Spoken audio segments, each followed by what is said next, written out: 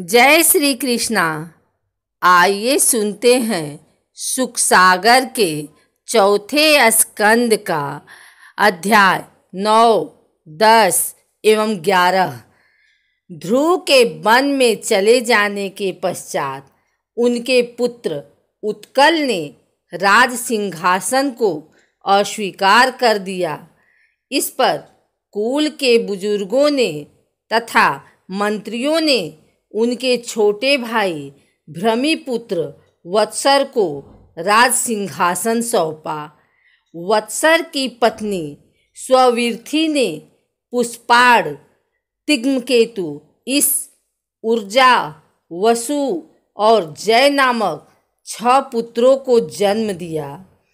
पुष्पाड़ के प्रभा और दोसा नाम की दो पत्नियाँ थीं। प्रभा ने प्रातः मध्य दिन और सायं नामक तीन पुत्रों को जन्म दिया। दोसा ने प्रमोद निशी और व्युष्ट नामक तीन पुत्रों को जन्म दिया। व्युष्ट की पत्नी पुष्करणी ने सर्वतेजा नामक पुत्र को जन्म दिया। सर्वतेजा की पत्नी आकुति ने चछु नामक पुत्र को जन्म दिया, जो चाछुस मनवंतर में मनु हुआ। चछु मनु की पत्नी नडवला ने पुरु, कुत्स, त्रित, धूम सत्यवान ऋतु, व्रत अग्निष्टोग अतिरात्र, प्रद्युम्न, शिवी और उल्मुख नामक बारह पुत्रों को जन्म दिया। उल्मुख की पत्नी पुष्करणी ने अंग, सुमना, ख्याति, क्रतु, अंगीरा और गया नामक छह पुत्रों को जन्म दिया। अंग की स्त्री सुनीता ने क्रूर कर्मा बेन को जन्म दिया। बेन की दुष्टता से उद्विग्न होकर राजर्षि अंग नगर छोड़कर वन में चले गए। कुछ समय पश्चात बेन की मृत्यु हो गई। बेन की मृत्यु के पश्चात कोई राजा न रहा। लुटेरों ने कोई राजा न होने के कारण प्रजा को कष्ट देना प्रारंभ कर दिया। यह देखकर मंत्रियों ने बेन की दाहिनी भुजा का मंथन किया, जिससे भगवान विष्णु के अंशावतार पृथु प्रकट हुए। दसवां अध्याय प्रारंभ। श्री मैत्रेय जी ने बताया कि राजा अंग के वन में चले जाने से पृथ्वी की रक्षा करने वाला कोई न रहा। मंत्रियों की सहमति न होने पर भी बेन को राजा बनाया गया। बेन ने ढिढोरा पिटवाकर सारे धर्म कर्म बंद करवा दिए। उसने घोषणा करवा दी कि कोई यज्ञ हवन दान न करे। मुनियों ने राजा बेन को समझाया कि राज्य में द्विज यज्ञों का अनुष्ठान करेंगे, तभी पूजा से प्रसन्न होकर भगवान के अंश देवता आपको फल प्रदान करेंगे। आपको यज्ञादि धर्मानुष्ठान बंद करवाकर देवताओं का तिरस्कार नहीं करना चाहिए। राजा बेन ने उत्तर दिया कि राजा सर्वदेयमय होता है और देवता उसके अंश मात्र हैं। इसलिए द्विजों, तुम मत्सरता छोड़कर अपने कार्यों द्वारा मेरा ही पूजन करो। मुझे ही बलि समर्पण करो। मेरे अतिरिक्त कोई भी अग्र पूजा का अधिकारी नहीं हो सकता। इस तरह के बेन के अत्याचारों से दुखी होकर कुछ लोगों ने मिलकर उसके जीवन का अंत कर दिया।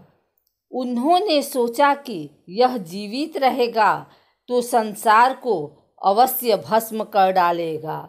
बेन की माता सुनीता मंत्र आदि के बल से अपने मृत पुत्र की रक्षा करने लगी। बेन की मृत्यु हो जाने से चोर, डाकू, लुटेरों की संख्या बढ़ती चली गई। राज्य में अशांति फैल गई। प्रजाजन कहने लगे कि राजर्षि का वंश नष्ट नहीं होना चाहिए। इस कारण ऋषियों ने मृत राजा बेन की जांग को बड़े ज़ोर से मथा। उसमें से एक बौना पुरुष प्रकट हुआ। वह कौवे के समान काला था और भुजाएँ बहुत छोटी थी। उसके जबड़े बहुत बड़े थे। वह बोला, मैं क्या करूँ? ऋषियों ने कहा, निषाद, बैठ जाओ। इससे वह निषाद कहलाया। जन्म लेते ही उस निषाद ने राजा बेन के पापों को अपने ऊपर ले लिया। उसके वंशधर निषाद की लूट मार व हिंसा से रत रहने लगे। वे गाँवों व नगरों में टिककर नहीं रहते थे। वे वन और पहाड़ों में रहने लगे। ग्यारहवा अध्याय प्रारंभ। पुत्र विहीन राजा बेन की भुजाओं का मंथन ब्राह्मणों ने किया। मंथन करने से एक स्त्री पुरुष का जोड़ा प्रकट हुआ। भगवान विष्णु विश्वपालिनी कला से प्रकट हुए। उस पुरुष का नाम पृथु रखा गया। भगवान की सेवा में नित्य रहने वाली सहचरी श्री लक्ष्मी के रूप में अर्ची प्रकट हुई। ब्रह्मा जी देवताओं और देवेश्वरों के साथ वहाँ पधारे। उन्होंने पृथु के दाहिने हाथ में भगवान विष्णु की हस्तरेखाएँ और उनके चरणों में कमल का चिन्ह देखा। पृथु के हाथ में चक्र का चिन्ह देखकर पृथु को श्री हरि का अंश समझा। सबने मिलकर पृथु का राज्याभिषेक किया। कुबेर ने अपना स्वर्ण का सिंहासन प्रदान किया।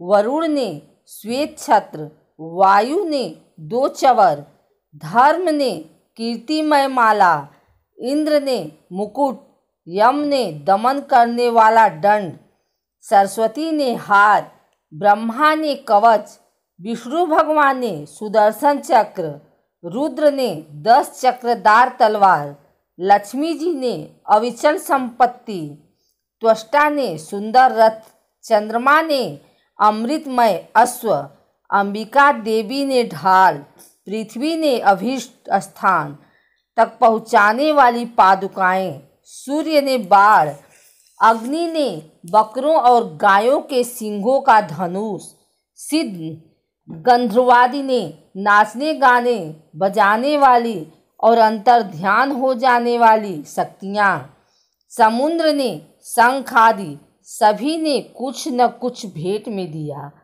राजा पृथु ने कहा कि आप लोगों को मेरी स्तुति नहीं करनी चाहिए, क्योंकि आप लोग किन गुणों को लेकर मेरी स्तुति करेंगे।